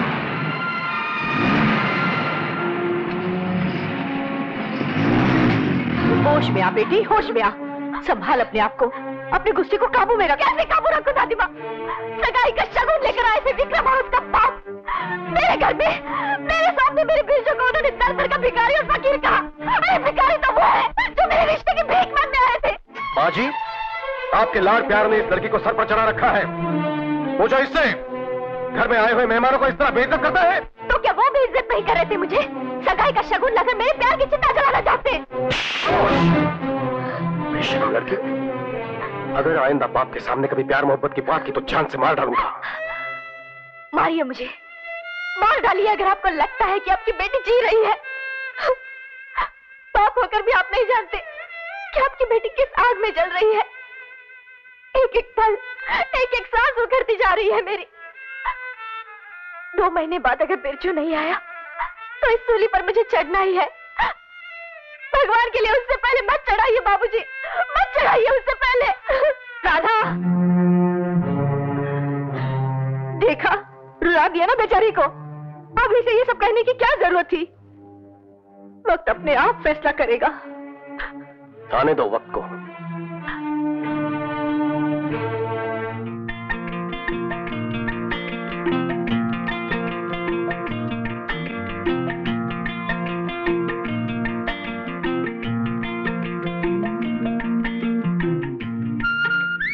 किसे देख रही है रूपा। हाँ? किसी को भी तो नहीं भाभी। वो बेला है ना उसको चमेली के फूल लाने भेजा था। देखिए ना अभी तक नहीं लौटी। मुझे मंदिर जाने में देरी हो रही है। अच्छा एक बात तो बताओ। तू मंदिर जाती है। कुछ मांगती भी है भगवान से? हाँ भाभी मांगती तो हूँ। मेरी भैया भाभी की जोड़ी हमेशा सलामत रहे। और अपने लिए कुछ नहीं मांगती? मुझे किस चीज़ की कमी है? आप लोगों ने तो सब कुछ दिया है मुझे। अरे हाँ वो बिरजू कहीं दिखाई नहीं दे रहा? तो यहीं से गुजर रहा था भाभी। वो अ, गोपाल राय है ना? उनके यहाँ गृह प्रवेश का बहुत बड़ा जलसा है। तो वहाँ गाने गया है। हम्म, उसके संगीत में ऐसा जादू है कि दूसरों का दिल जीत ले। ऐसे गुण ऐसे संस्कार है उसके कि बस पूछो मत। भाई मुझे तो बहुत अच्छा लगता है बिरजू। वो इस घर के लिए कितना भाग्यवान है कि उसके इस घर में आते ही खुशियों की बाढ़ आ गई। मैं तो उसे जाने ही नहीं दूँगी। हाँ भाभी उसे जाने ही मत देना। नहीं ना? बिल्कुल नहीं। तो समझ गई है ना मैं क्या कह रही हूँ?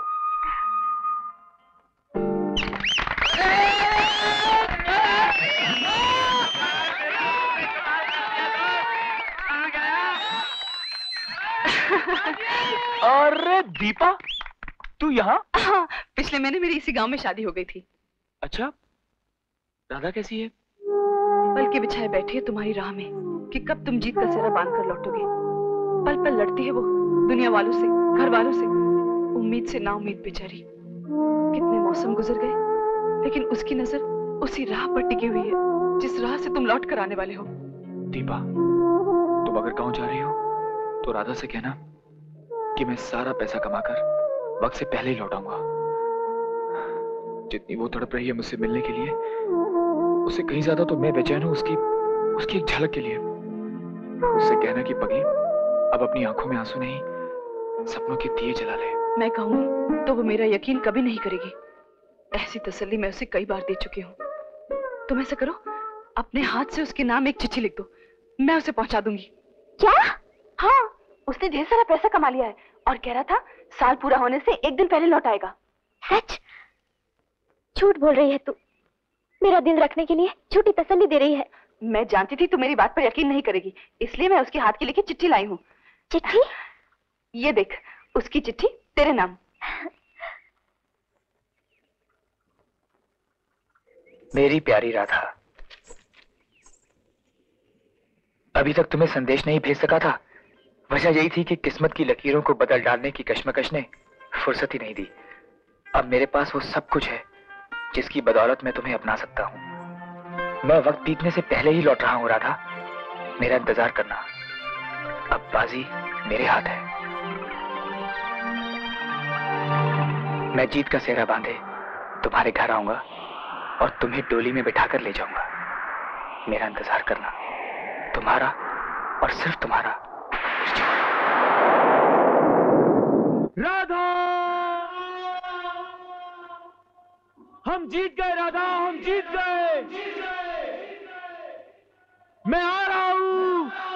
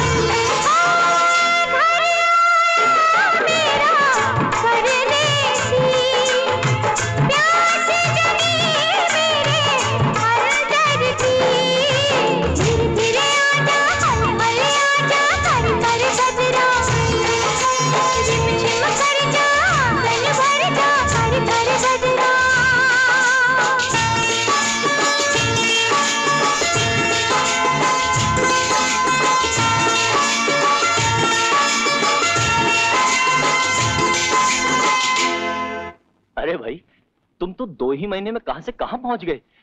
दरअसल उस दिन मैं जरा जल्दी में था। तुम्हारी आवाज़ को ठीक से पहचान नहीं सका। सुनो, हमारी कंपनी के लिए गा दो। मैं तुम्हें पचास हज़ार रुपए एडवांस देता हूँ। अब ले भी लो ना, प्लीज़।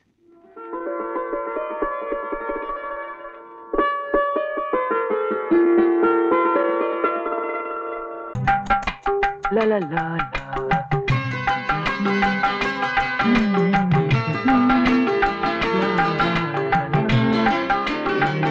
आज बहुत खुश नज़र आ रहे हो?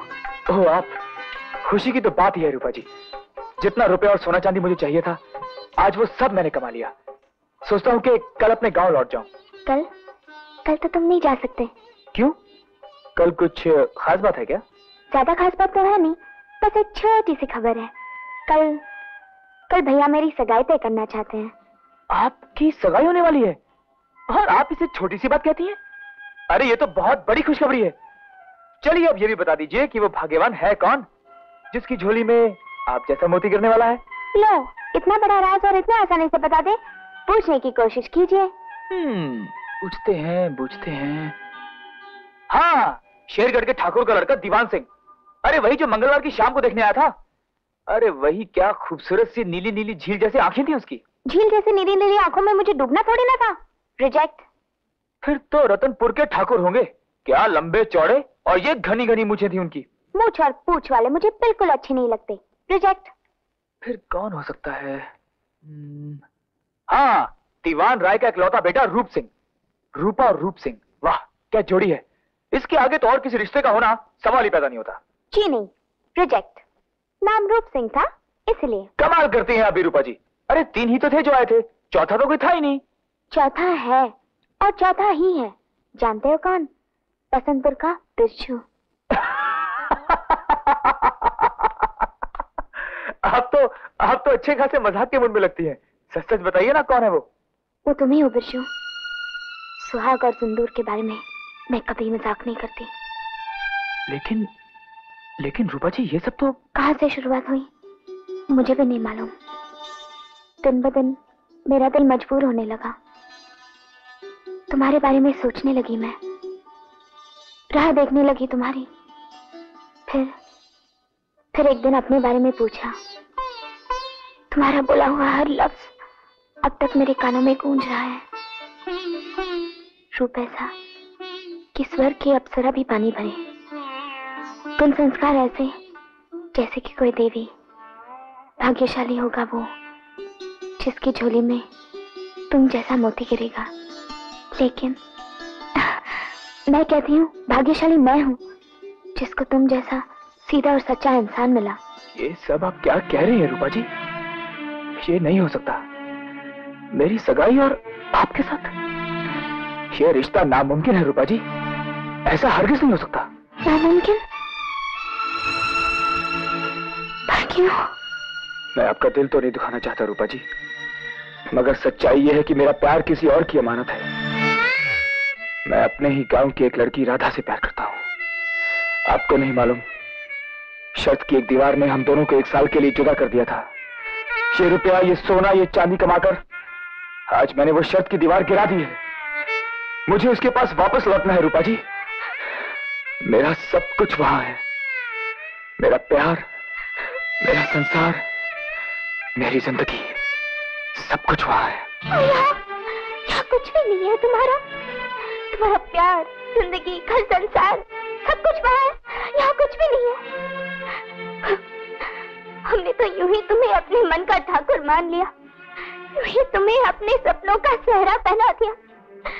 यूँ ही हमारी हर सांस हर पल तुम्हारा नाम पुकारती रही। आज ये सुनने के लिए क्या कुछ भी नहीं है?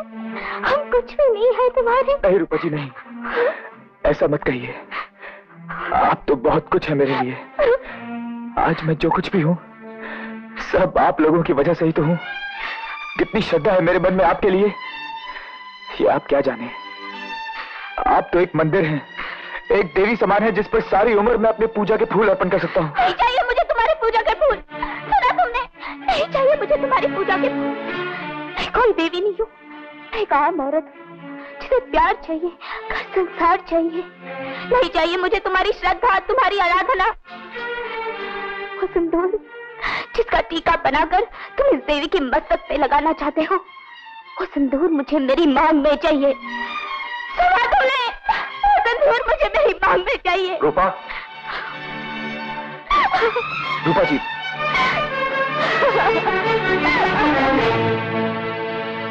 ठाकुर साहब। रूपा जी को शायद कुछ गलत फहमी हो गई है। मैं इनकी दिलो जान से इज़्ज़त करता हूँ। सगाई और शादी की बात तो मैं सपने में भी नहीं सोच सकता। इससे पहले कि मेरे हाथ से कोई अनहोनी हो जाए, तुम्हें समझाना मेरा फ़र्ज़ है। चिराग लेकर भी ढूंढो तो रूपा जैसी लड़की तुम्हें सात जन्मों में भी नहीं मिलेगी। यह तुम्हारा नसीब है कि उसने तुम्हें चाहा। और अगर उसने चाहा कि उसकी शादी तुमसे होगी तो यह शादी होकर रहेगी। चाहे ज़मीन हिल जाए या आसमान टूट पड़े। कौन इनकार करता है? ठाकुर साहब की रूपा लाखों में एक नहीं है। रूपा जैसी लड़की मुझे सात जन्म में नहीं मिल सकती ये बात मैं भी जानता हूँ। लेकिन मैं किसी और को प्यार करता हूँ। और उसके लिए मुझे आज ही गाँव जाना होगा। मैं आपसे हाथ जोड़कर विनती करता हूँ ठाकुर साहब की मुझे इजाज़त दीजिए। तू जानता कौन है रूपा? मेरी नाजोपली बहन है जिसे आज तक मैंने गर्म हवा का झोंका नहीं लगने दिया। और तू समझता है कि तू उसका दिल तोड़ के जा सकता है। नहीं बिरजू नहीं। तू यहाँ से नहीं जा सकता। नहीं ठाकुर साहब।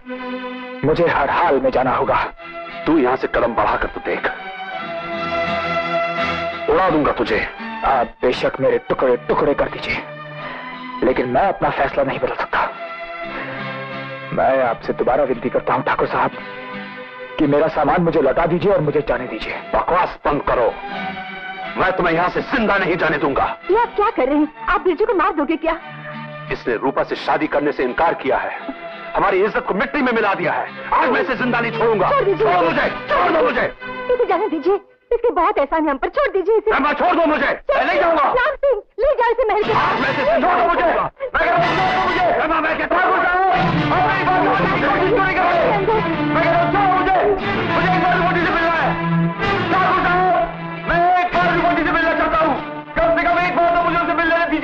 मुझे छोड़ दो। छोड़ो मैं नहीं छोड़ूँगा। मुझे जाने दो रमा। मैं इस कमीने से हिसाब चुकाए नहीं रहूँगा। छोड़ दो मुझे। संभालिए अपने आप को। भगवान के लिए शांत हो जाइए। मुझे जाकर रूपा को भी संभालना है। न जाने उस पर क्या बेहतरी होगी। मुझे जाने दो। तुम लोग समझते क्यों नहीं हो? मुझे रूपा जी से बहुत ज़रूरी बात करनी है। मैं कहता हूँ छोड़ दो मुझे। अरे छोड़ो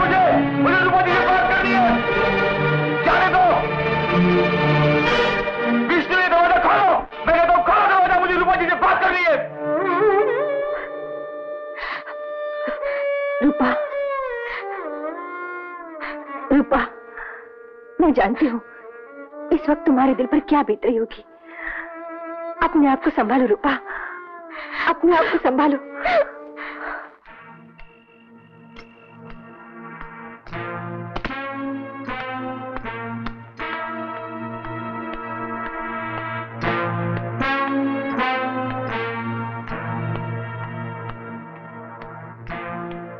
जी रूपा जी कहाँ हैं आप?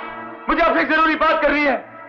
बाहर आइए रूपा जी रूपा जी हाय राम ये क्या हो गया? ये फिर से क्यों लौट आया? मैं चाहती हूँ रूपा तेरे भैया को रोकती हूँ। फिर आया बदजात। लगता है आज इसकी मौत इसे बार बार मेरे चुंगल में खींच के ला रही है। मैं इसे उड़ा दूँगा भून डालूँगा गोलियों से। मत रोको मुझे रामा। दोबारा अपनी मौत को ललकारा है। छोड़ दो मुझे। मैं आपकी गलत से भी दूर किए बिना यहाँ से नहीं जाऊँगा। मैं जाने से पहले आपकी गलत भी दूर कर देना चाहता हूँ रूपा जी। अरे अब कौन सा मुँह लेकर बात करेगा रूपा से?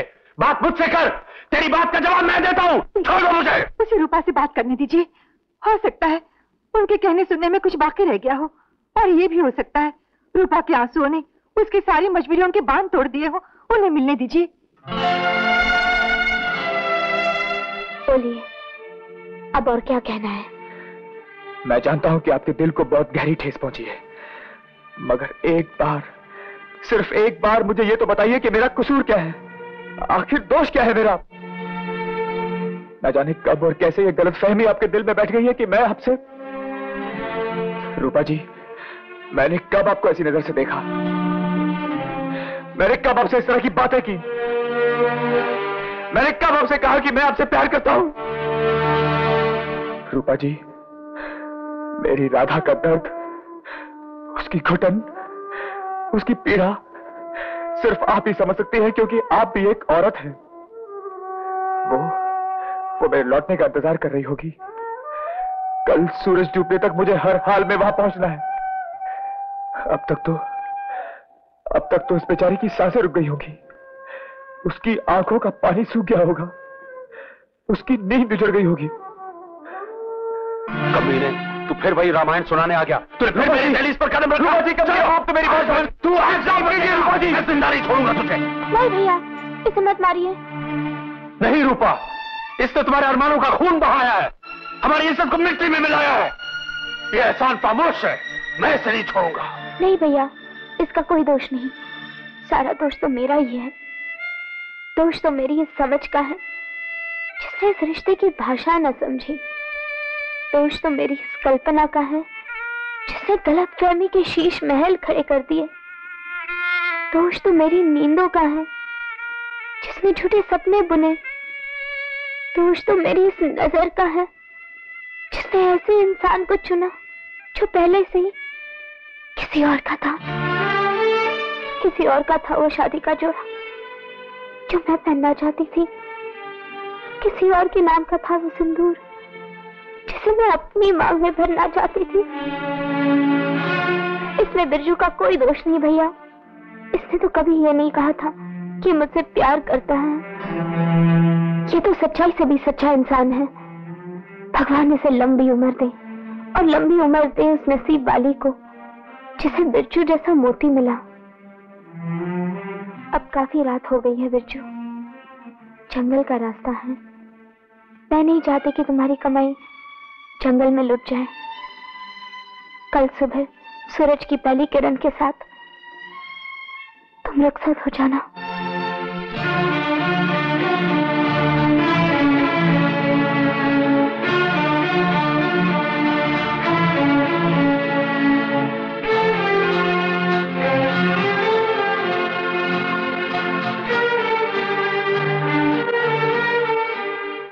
कल का सूरज कहीं आपकी ज़िंदगी में अंधेरा ना कर दे विक्रम बाबू।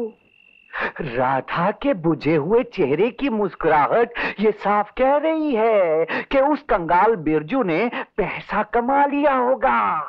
और कल अगर वो लौट आया तो ये ना हो राम कसम कि राधा की डोली आपके यहाँ आने के बदले उसके यहाँ चली जाए। मैं ऐसा कभी नहीं होने दूँगा। एक साल पूरे एक साल इंतज़ार किया है मैंने। इतनी बेइज्जतियाँ। कितनी सिलतें बर्दाश्त की हैं इसलिए कि डोली उस भिखारी के घर चली जाए।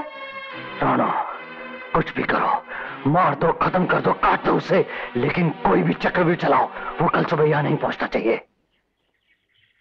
ये लो बिरजू अपनी खुशियों की सारी पूंजी। हम तुम्हें अपनी सारी दुआओं के साथ विदा करते हैं। तुम्हारी राधा और तुम्हारी बीच की सारी दूरियाँ आज खत्म हो जाए। रास्ते की धूल फूल बन जाए। वक्त तुम्हें अपनी मंजिल पर इतनी जल्दी पहुँचा दे कि अपनी जुदाई की सारी घड़ियाँ तुम भूल जाओ। जाओ बिरजू शनाया तुम्हें बुला रही है। रूपा जी जाने अनजाने मेरी वजह से आपके दिल को जो ठेस पहुँची है, उसके लिए मैं आपसे माफ़ी चाहता हूँ। आप लोगों ने हमेशा मुझ पर अपनी मेहरबानी की। और उसके बदले में मैंने आपको सिर्फ़ आँसू दिए। जो गुजर गया उसे भूल जाओ बिरजू। हाँ अगर जाते जाते बदले में मुझे कुछ देना ही चाहते हो तो एक छोटी सी सौगात देते जाओ। जी। अपने सारे आँसू यहाँ छोड़ जाओ बिरजू। तुम अपना घर अपना संसार बसाने जा रहे हो। यहाँ से पलटते वक्त तुम्हारे चेहरे पे सिर्फ़ मुस्कुराहट होनी चाहिए। चाहो तुम्हें तुम्हारी नई ज़िंदगी मुबारक हो।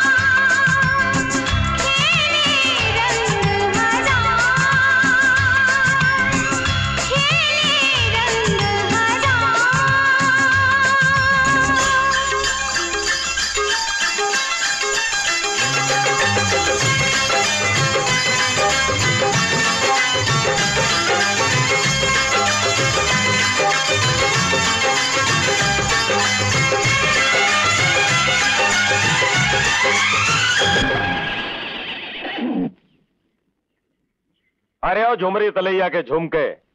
कहाँ भागा जा रहा है? जरा इधर तो देख। ओ तो तू फिर आ गया? बिना मेरी इजाज़त के। यहाँ से हंसों के जोड़े नहीं जा सकते तो तेरे ये घोड़े कैसे जाएँगे? पहले की मार भूल गया क्या? देख अगर कुछ बाकी रह गया हो तो उसका फैसला बाद में कर लेते हैं। आज हट जा मेरे रास्ते से। हट जाएँगे रसिया। तेरे पास नोटों की वो जो गठरी है ना वो मेरे हवाले कर दे। तेरा रास्ता साफ़ हो जाएगा।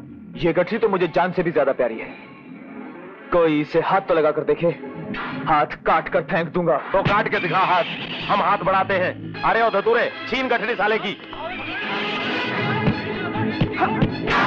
दादी माँ दोपहर बीत गई बिरजू अभी तक नहीं आया।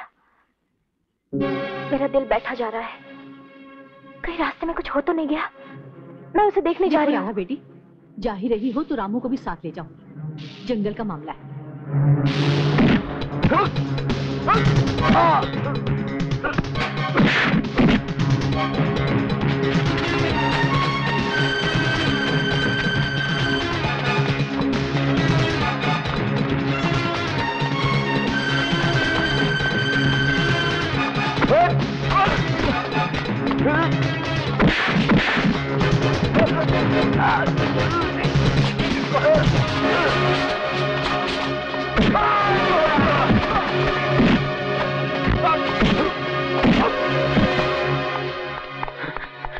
ठाकुर साहब ठाकुर साहब।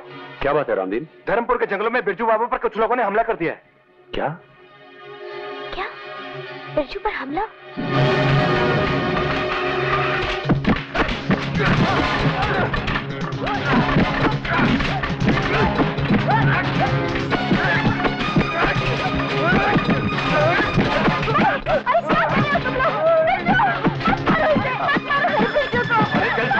लड़की को दूर ले चलते हैं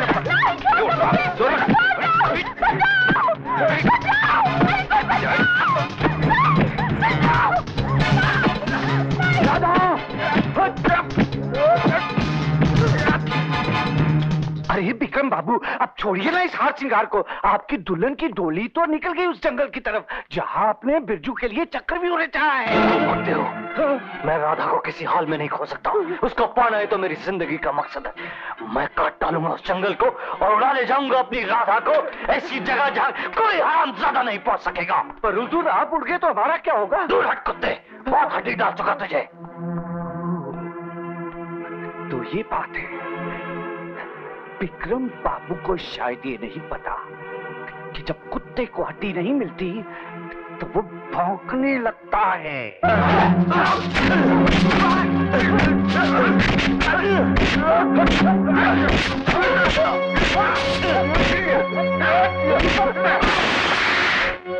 खबरदार अगर किसी ने हाथ उठाया तो एक एक को भून के रख दूँगा। ठाकुर साहब आप ठाकुर रणबीर सिंह के घर से चला हुआ मेहमान रास्ते में लुट जाता तो हम अपने आप को ज़िंदगी भर माफ़ नहीं कर पाते। तुम अपनी कमाई लेके वक्त से पहले अपने गाँव पहुँच जाओ।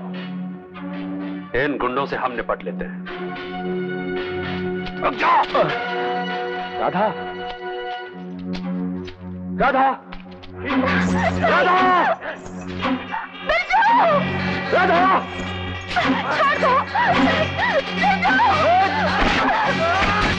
राधा। तुम इसे संभालो मैंने देखता हूँ।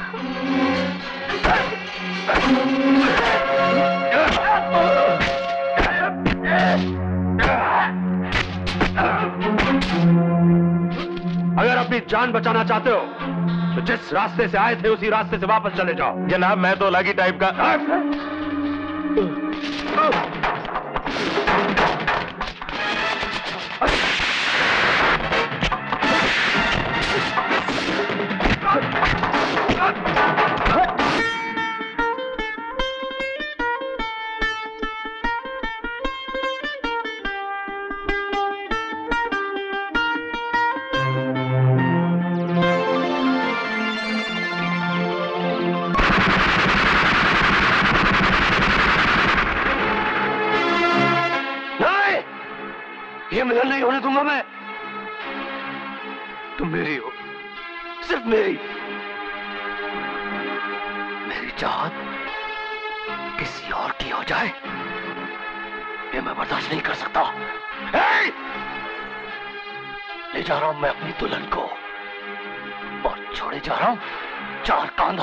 कांधा क्योंकि मैं चाहता हूँ, इधर मेरी बारात निकले और उधर इस आशिक का जनाजा।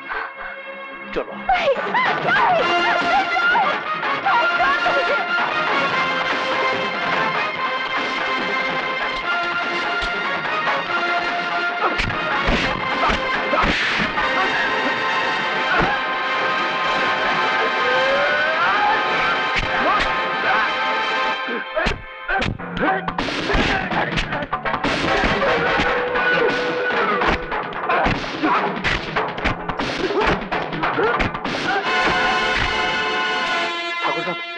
ठाकुर साहब विक्रम ज़बरदस्ती राधा को कार में बिठा कर ले गया है। रामदेव जी जल्दी गाड़ी लाओ। छोड़ दो मुझे? बाकी ने सारे गाँव के सामने विक्रम की असलियत खोल के रख दी। वो लाजो का असली कातिल विक्रम है मालिक और कोई नहीं और उसी ने उसकी इज़्ज़त लूटी। रोको रोको।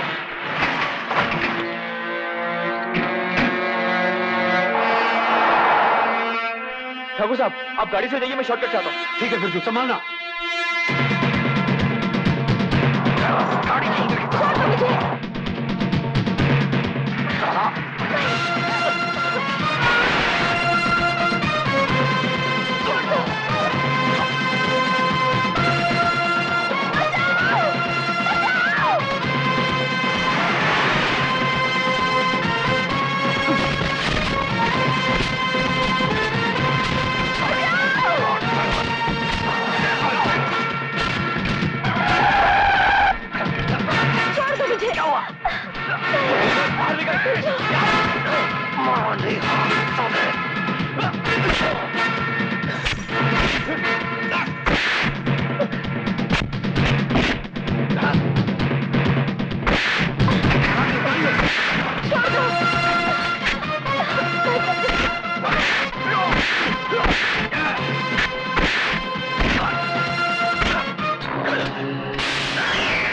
नहीं तो सबको भूल के रख दूँगा।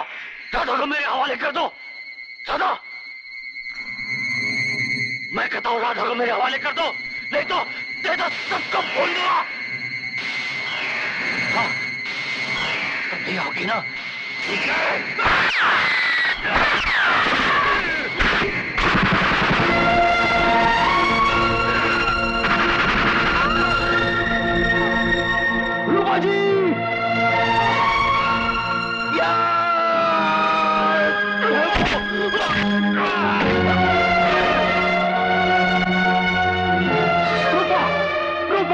रूपा ये ये तो मौत के मुँह में जान पूछ के क्यों चली आई?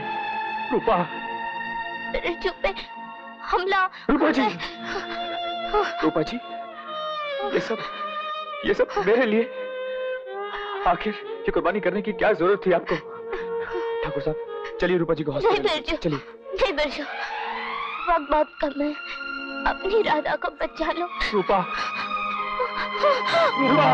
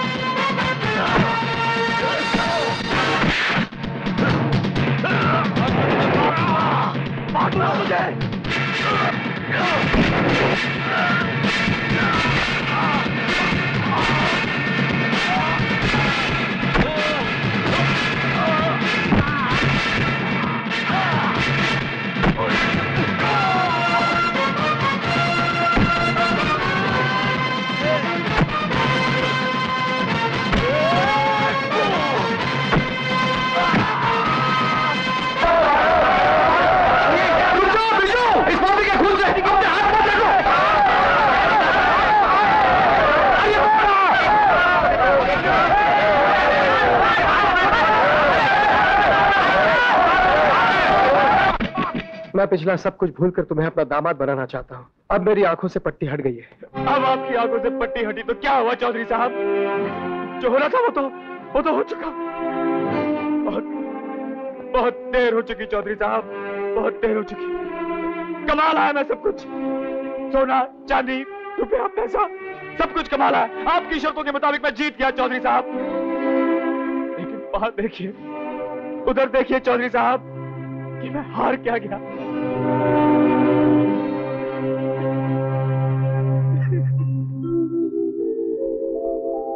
मैं उसे हार गया, चौधरी साहब। जिसने मुझे जीतना सिखाया। मैं उसे हार गया। जिसने मुझे मिट्टी से सोना बनाया। जिसने मेरी तकदीर संवारी।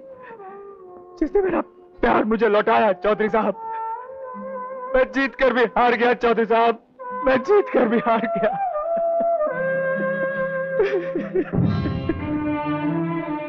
रो मत बच्चों मैंने कहा था ना अपने सारे आँसू मेरे पास छोड़ जाना। तुम्हारे चेहरे पर हमेशा मुस्कुराहट होनी चाहिए। शायद किस्मत में यही लिखा था। सब कुछ भुलाकर अपनी ज़िंदगी में वापस लौट जाओ, बच्चों। अपनी ज़िंदगी में वापस लौट जाना। ज़िंदगी एक मंच है। जिस पर हर इंसान अपना किरदार खेल कर चला जाता है। ज़िंदगी हर किरदार से बड़ी है। किरदार और लोग खत्म हो जाते हैं। पर ज़िंदगी नहीं, ज़िंदगी चलती रहती है।